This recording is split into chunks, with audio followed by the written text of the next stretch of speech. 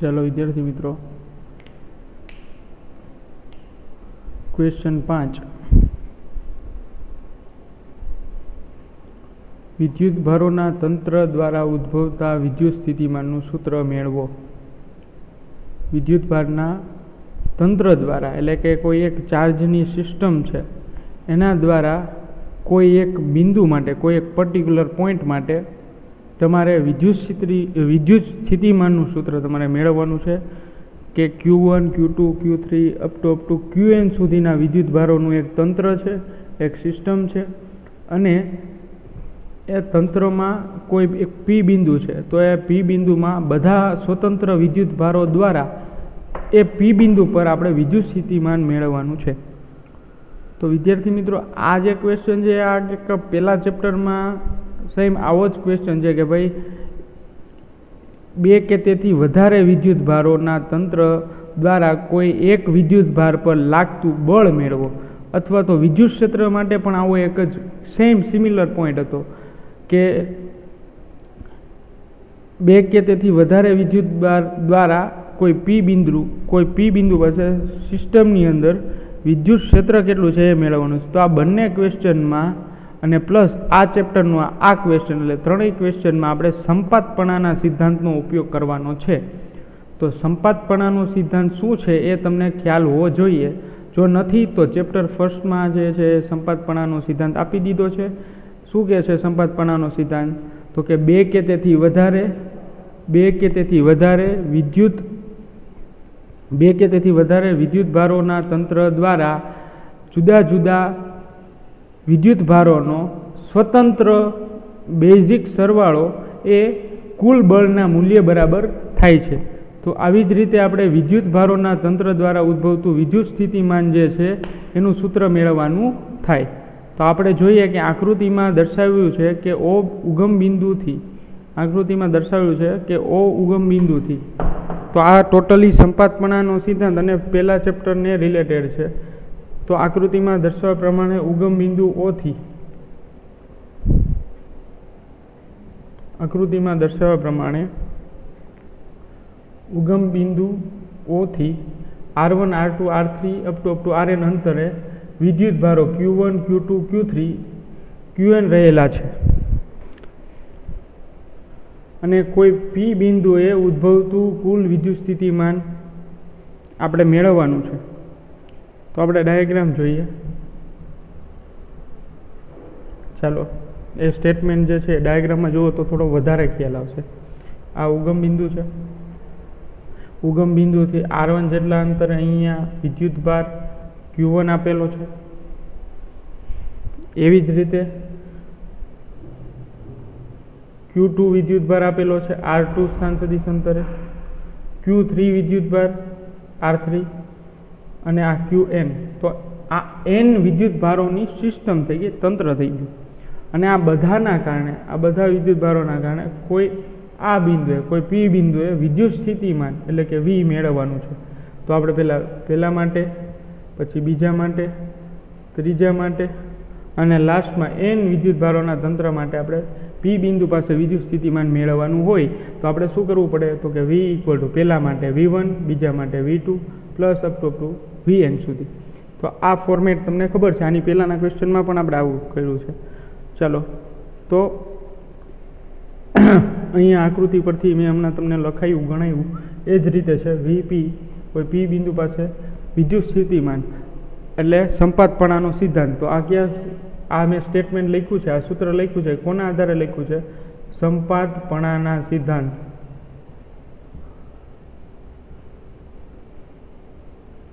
ચલો સંપાતપણાના સિદ્ધાંત પરથી લખેલું છે.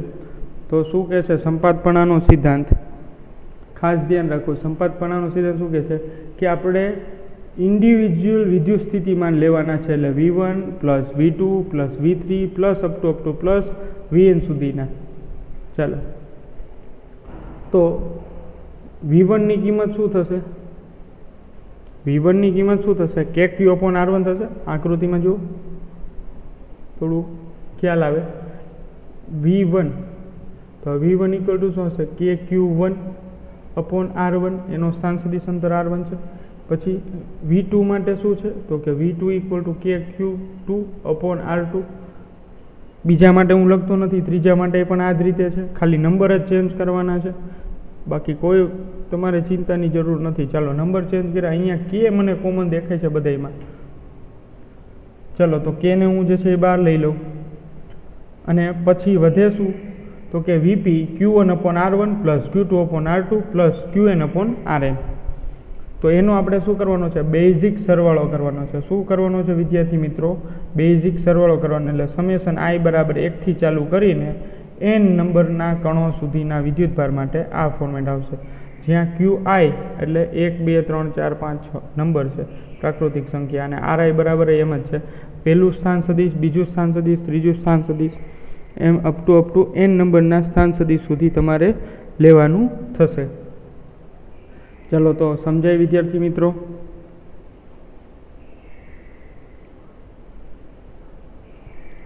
સેમ ફર્સ્ટ ચેપ્ટરને એકોર્ડિંગ જ છે, સંપાદપણાના સિદ્ધાંતનો ઉપયોગ કરીને એન કણોના તંત્ર માટે.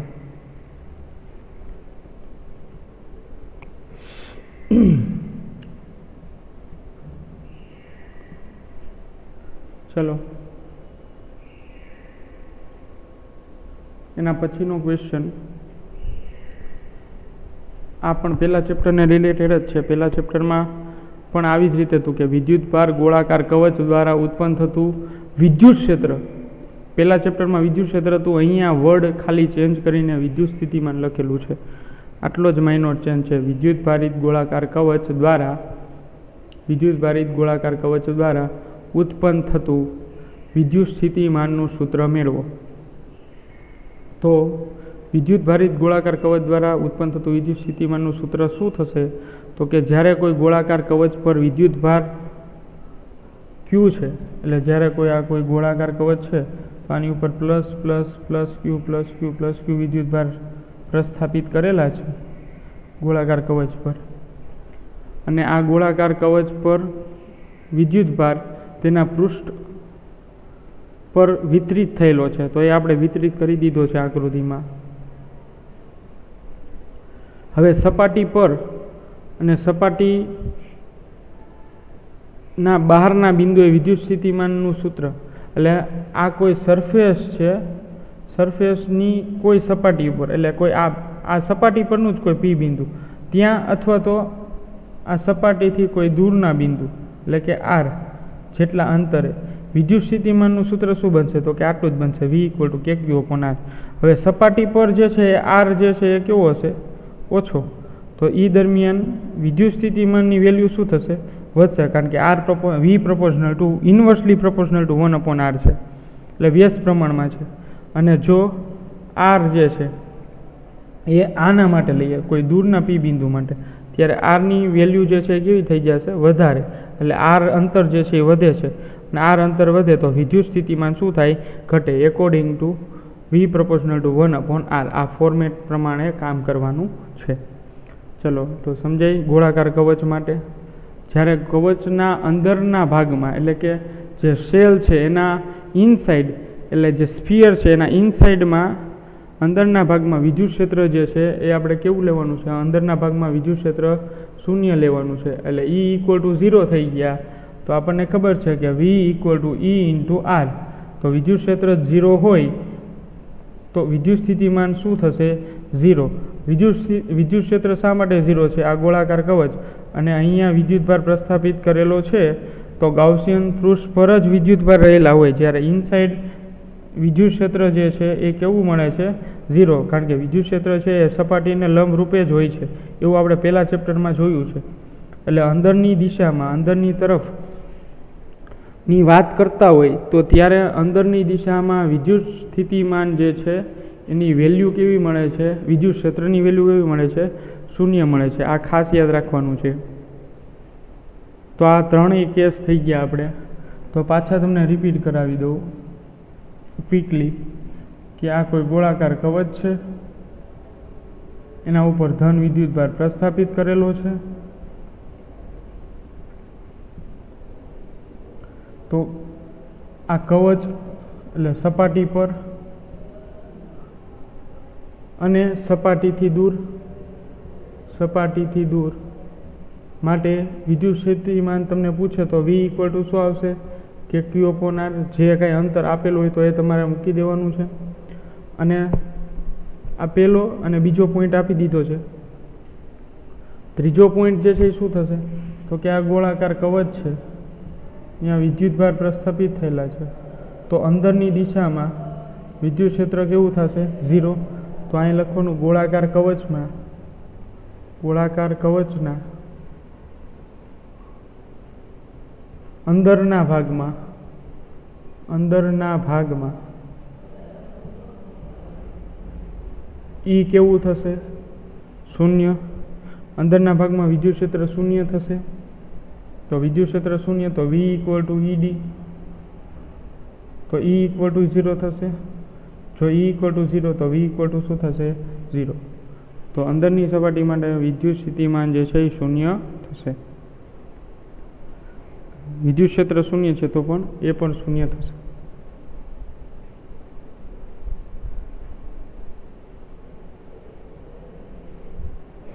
ચાલો, આજના લેક્ચરનો છેલ્લો ક્વેશ્ચન જોઈએ.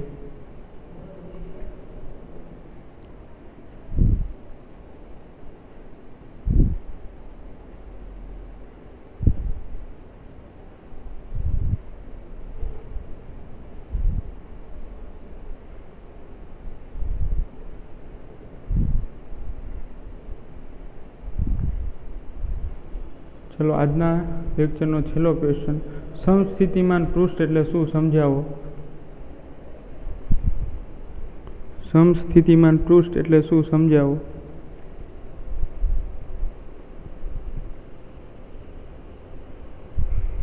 હવે જે ક્વેશ્ચન છે એ જ એનું કામ છે. એના ટૂંકમાં એના પ્રમાણે આપણે વર્ક કરવાનું છે. જે આપણને ક્વેશ્ચન આપ્યો છે, એ જ ક્વેશ્ચનને આપણે ફોલો કરવાનો છે. સમસ્થિતિમાન પૃષ્ઠ.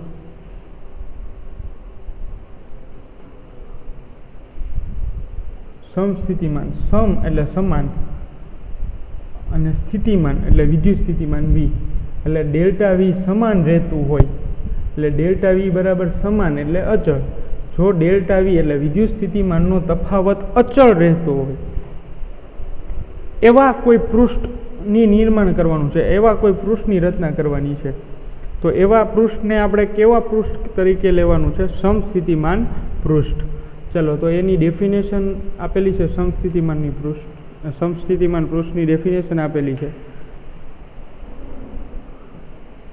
કે જે પૃષ્ઠ પરના દરેક બિંદુએ, જે પૃષ્ઠ પરના દરેક બિંદુએ વિદ્યુત સ્થિતિમાન જે પૃષ્ઠના દરેક બિંદુએ વિદ્યુત સ્થિતિમાન ઇક્વલ હોય, એક સમાન હોય તે પૃષ્ઠને અથવા તેવા પૃષ્ઠને સમસ્થિતિમાન પૃષ્ઠ કહે છે. એટલે મેં તમને સમજાવ્યું એમ જ કે જે ડેફિનેશન જે ક્વેશ્ચન છે એ જ તમારો આન્સર છે. કે સમ એટલે સમાન અને સ્થિતિમાન એટલે વિદ્યુત સ્થિતિમાન અને પૃષ્ઠ એટલે કોઈ એવું પૃષ્ઠ કે એ પૃષ્ઠના બધા બિંદુએ વિદ્યુત સ્થિતિમાનનો તફાવત જે છે એ કેવો રહે છે? સમાન રહે છે. તો એવા પૃષ્ઠને આપણે શું કહીએ છીએ? સમસ્થિતિમાન પૃષ્ઠ કહેવામાં આવે છે અથવા તો ઇક્વી પોટેન્શિયલ સરફેસ પણ કહેવામાં આવે છે. તો સમસ્થિતિમાન પૃષ્ઠ ક્લિયર કે કોઈ એવા પૃષ્ઠ કે જેના જુદા જુદા પૃષ્ઠ માટે જુદા જુદા પૃષ્ઠ માટે એ બધાના સ્થિતિમાનની કિંમતો જે છે સમાન રહેવી જોઈએ. પહેલા પૃષ્ઠ માટે અને બીજા પૃષ્ઠ વચ્ચેનું સ્થિતિમાન, પછી બીજાથી ત્રીજા. તો એ બધાનું સ્થિતિમાનની વેલ્યુ જે છે સમાન હોય તો એવા પૃષ્ઠને આપણે કહીએ કહે છે કે સમસ્થિતિમાન પૃષ્ઠ કહેવામાં આવે છે. તો બિંદુવત વિદ્યુતભારનું સ્થિતિમાન કેટલું થશે? V equal to K Q upon R આ એનું સ્થિતિમાનની કિંમત થશે. ત્યારબાદ આમ ક્યુ? વિદ્યુત ભારથી આર અંતરે વિદ્યુત સ્થિતિમાન સમાન હોય છે. ત્યાં પૃષ્ઠ વિચારતા, એટલે આપણે એવા પૃષ્ઠની કાલ્પનિક પૃષ્ઠ વિચારવાનું છે કે આર અંતરે બધા વચ્ચેનું અંતર આર સેમ હોય અને વિદ્યુત સ્થિતિમાન સમાન હોય, એટલે પોટેન્શિયલ ડિફરન્સ વી અચળ રહેતો હોય. તો એવા પૃષ્ઠની નિર્માણ કરવાનું છે, કાલ્પનિક પૃષ્ઠ વિચારવાનું છે. ચાલો, તો આર સ્થાન સદિશના જુદા જુદા મૂલ્યો માટે, જુદા જુદા સ્થિતિમાનના મૂલ્યો બને છે. પરંતુ એક જ સપાટીના બિંદુઓને સમાન હોય છે. એક જ સપાટીના બિંદુઓને કેવા હોય છે? સમાન હોય છે. તો એવા પુરુષને આપણે શું કહીએ છીએ? સમસ્થિતિમાન પુરુષ કહીએ છીએ. એટલે ડેલ્ટા વી બરાબર કેવું રહે છે? અચળ. શા માટે? કારણ કે V two equal to V one equal to V થશે. હવે ડેલ્ટા વી તમે જો વાત કરતા હોય તો શું આવશે? V two minus V one હવે આ બેની કિંમત તો સેમ છે.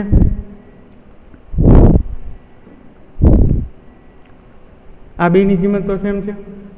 તો V two minus V one તો વી માઇનસ વી એટલે ઝીરો તો ડેલ્ટા વી બરાબર શું બનશે? ઝીરો આ સેન્ટેન્સ હવે સમજાણું? ચાલો. ચાલો, ત્યારબાદ.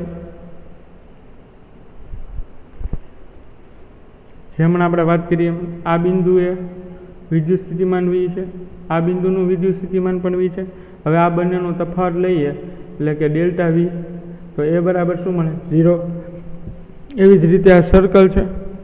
કે આ સર્કલની પહેલું રિંગ પહેલી સપાટી છે. એનું વિદ્યુત સ્થિતિમાન વી જેટલું છે. બીજી સપાટી છે. એનું પણ વિદ્યુત સ્થિતિમાન સપાટી બે એનું પણ વિદ્યુત સ્થિતિમાન વી જેટલું છે. હવે આનું પણ ડેલ્ટા વી લેશો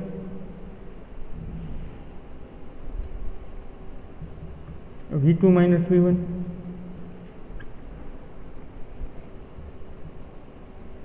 તો આ તો સેમ છે, એટલે વિદ્યુત સ્થિતિમાનનો તફાવત કેવો થઈ જશે? ઝીરો.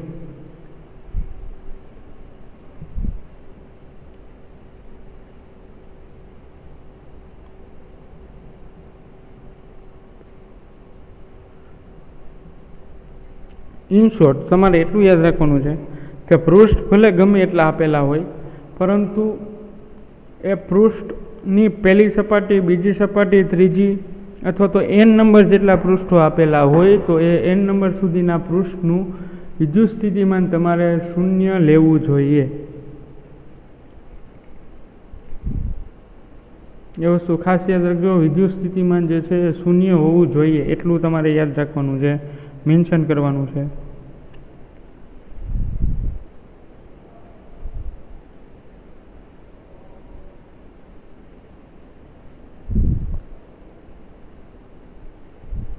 તો સમસ્થિતિમાન પૃષ્ઠના એમસીક્યુ પૂછાય, અથવા તો તમને એમ કહે કે કોઈ એક ગોળાકાર કવચ છે, કે જેના સમકેન્દ્રી છે અને એ સમકેન્દ્રી વર્તુળાકાર ગોળાકાર કવચ એવા ત્રણ કવચ રહેલા છે અને ત્રણેય કવચનું વિદ્યુત સ્થિતિમાન જો વી જેટલું હોય, એટલે કે સમાન હોય, તો એવા પૃષ્ઠને કેવા પૃષ્ઠ તરીકે ઓળખવામાં આવે છે? તો એનો આન્સર શું આવશે? સમસ્થિતિમાન પૃષ્ઠ. અને સમસ્થિતિમાન પૃષ્ઠમાં શું આવશે? વોલ્ટેજ, એટલે કે વિદ્યુત સ્થિતિમાનનો તફાવત કેવો આવશે? શૂન્ય આવશે. વિદ્યુત સ્થિતિમાનનો તફાવત છોકરાઓ કેવો મળશે, શૂન્ય. તો સમસ્થિતિમાન પૃષ્ઠ માટે વિદ્યુત સ્થિતિમાનનો તફાવત શૂન્ય અને પહેલી સપાટી, બીજી સપાટી અને ત્રીજી સપાટીના વિદ્યુત સ્થિતિમાન અચળ રહે છે. અને જ્યારે વિદ્યુત સ્થિતિમાન અચળ રહે છે, વિદ્યુત સ્થિતિમાન ઝીરો નથી થતા. વિદ્યુત સ્થિતિમાન ઝીરો નથી થતા, વિદ્યુત સ્થિતિમાન અચળ રહે છે એટલે વી અચળ રહે છે. જ્યારે વિદ્યુત સ્થિતિમાનનો તફાવત એટલે કે ડેલ્ટા વી એ શૂન્ય બને છે. આ વસ્તુ ખાસ ધ્યાન રાખવાની છે વિદ્યુત સ્થિતિમાનનો તફાવત શૂન્ય થતો નથી. સોરી વિદ્યુત સ્થિતિમાન શૂન્ય નથી થતું, વિદ્યુત સ્થિતિમાન અચળ રહે છે, જ્યારે વિદ્યુત સ્થિતિમાનનો તફાવત શૂન્ય રહે છે. તો આટલું હોમવર્ક તમારે જે કરો છો ટુ ટાઈમ્સથી કરી લેવાનું છે. તો આજના લેક્ચરમાં આપણે અહીંયા સુધી રાખીએ.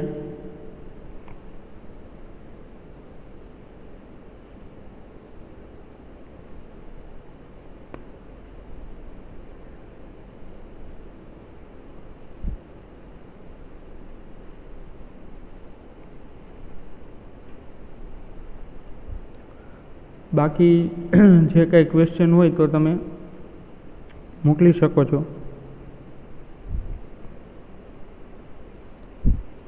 પહેલું ચેપ્ટર તમારે કમ્પ્લીટ થઈ ગયું છે એટલે બીજું ચેપ્ટર આપણે થોડું સ્પીડમાં ચાલશે.